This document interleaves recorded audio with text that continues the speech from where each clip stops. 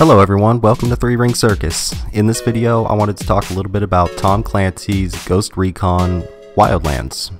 And I know what some of you may be thinking, but you just did a video on Ubisoft games. I know, I know. And it would be ridiculous for me to make another video right after I just made a video trashing on Ubisoft games, right?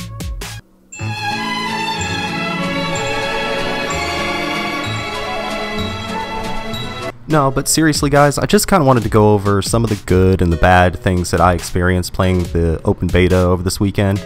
Now, keep in mind, I'm running my PC, or it ran on my PC at ultra graphics quality, and the texture quality was set to high. So, you know, your experience may vary, especially if you're on console. I, I really don't know how that plays. I didn't bother. But yeah, let's let's get into the first thing and that's uh, this random guy that pops up. I don't know who he is. I'm not familiar with Ubisoft staff or anything like that, so I don't know who he is, but he pops up. He's talking out of a teleprompter in sort of a robotic way. Um, it's really annoying. I don't I don't know who this guy is. Uh, Mark Zuckerberg or, or something. I, I don't know.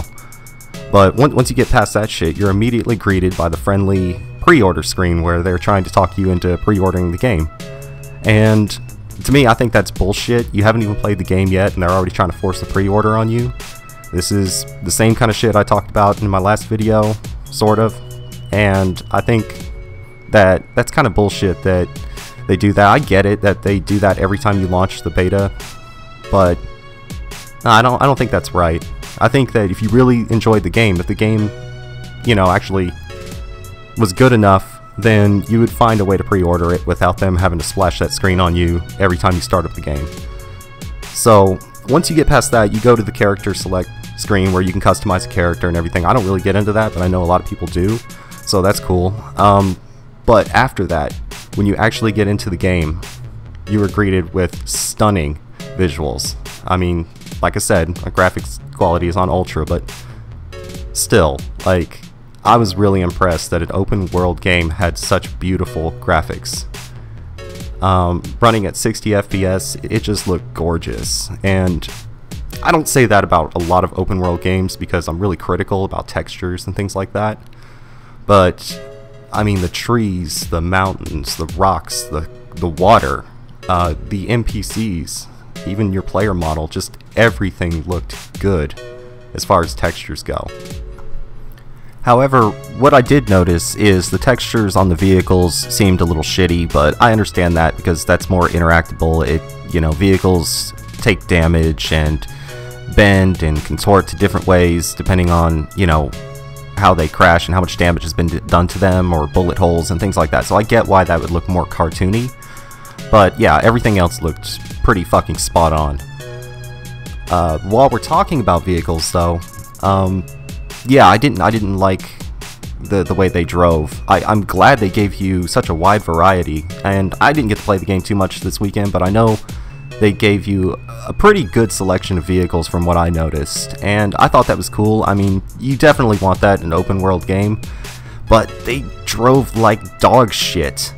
And what I mean is, the dirt bikes just felt like slippery and when you're trying to move the camera angle around it doesn't really snap back to the back of the car so you know you end up wrecking a lot which I did. You might not but I did. And I, understand that maybe the game isn't all about driving but the way they do the environment and how far apart like destinations are and everything you're kind of hoping for a better experience to get from one place to another especially when you know the environment is so gorgeous you want to be able to move around it, you know, smoothly. But I, I didn't get that experience. Uh, let me know if you did, because I didn't. It, everything felt like clunky garbage, no matter which vehicle I was in. Um, but maybe I just didn't use the right vehicles. I just used the ones they gave me, and it felt like shit. Uh, speaking of that, helicopters. Now, I was able to get from one point to another, you know, fly to my destination in a helicopter I don't know how the fuck I did it, and I, without crashing, I don't know how I could replicate that experience again.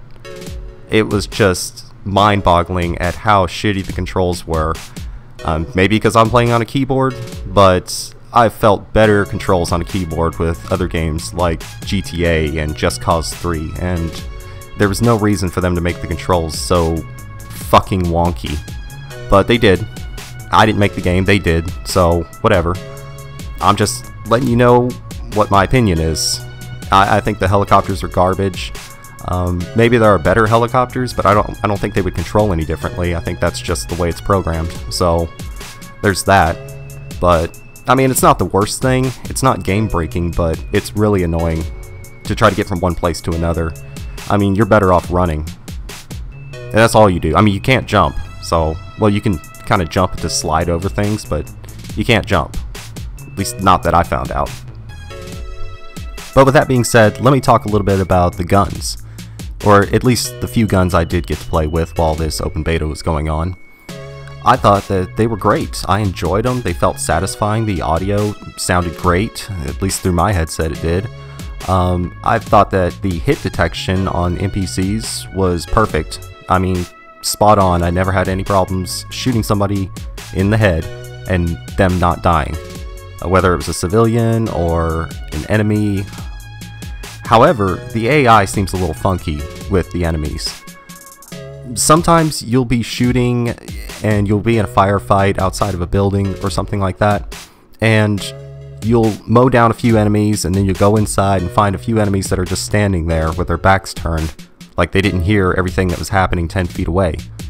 Which I find to be kind of immersion breaking, but I don't know. I mean, you guys let me know what you think about that. That's kind of that's kind of fucked up, even if you're using silenced weapons. If you guys know anything about actual silencers, they do not silence guns. So you would definitely hear it from 10 feet away. You would hear all the yelling and commotion and shit like that. So I don't know if this had something to do with me playing on the difficulty setting regular. Maybe if I cranked it up, they would be a little bit more attentive. But yeah, I would say that uh, my overall experience with that is when that happened, I felt a little neglected, to say the least. Another thing I do like about this game is the chickens. Yes, the chickens. And that's when you shoot a chicken, it just vaporizes. It just blows up into a ball of feathers and rains down like confetti. I think that is awesome. It's completely unrealistic, but sometimes instant gratification is more important than reality in video games. So, small detail, but it's the small details that I actually look at in games, especially during open betas and things like that. In conclusion, I don't think that I would pre-order this game or spend $60 on it in any universe. I think that the price should be probably around $40 for this game. It does have some redeeming qualities, that's why I'm saying that the price should be even that high. But, you know, what's the guarantee that you buy this game for $60 and it's not irrelevant in a month. I mean, look what happened to For Honor. That game was relevant for a few weeks. I mean, that game started losing relevance before it even came out. So what's the guarantee that you're going to pay $60 for this game and it just won't lose relevance? I mean, it will eventually, but goddamn. I mean, For Honor, like, I bet a lot of people that bought that game wishes they would have saved the money to buy this game. But if you save the money to buy this game, like, and you bought this game, what what what are you gonna do when the next Ubisoft game comes out in like a month or two? So I don't know. It it almost seems like Ubisoft is hurting itself and needs to call like a self harm hotline or some shit because I don't know what the fuck they're doing. Anyways, if you guys disagree or agree, let me know in the comments. I'm I'm just I don't know what to say about this. Hope you guys enjoyed the video, and I'll talk to you guys in the next one.